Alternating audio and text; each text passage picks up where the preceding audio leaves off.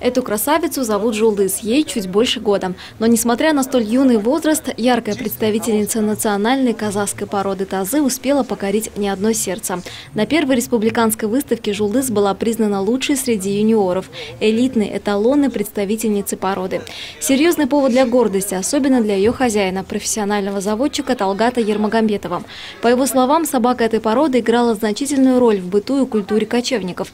Не было лучше зверолова, помощника на охоте. Неспроста она вошла в состав семи сокровищ Жета Казана, занимающих особое место в мировоззрении казахского народа. 27 лет занимаюсь разведением собак. Последний уклон идет на казахские тазы, потому что жить в Казахстане и заниматься другой собакой, я не знаю, это не патриотично, что ли, или как. Моя не то что обязанность, я занимался всеми собаками, но я остановился именно на казахских тазах, потому что если мы у себя на своей земле не будем поднимать утерянные кровя казахских таз и не будем восстанавливать, тогда грош нам цена будет.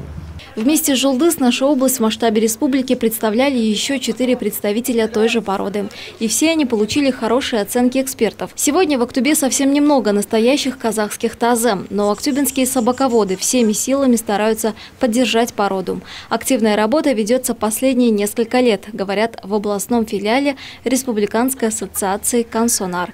Асель Кинжалина, Алексей Уразов, программа «Факт».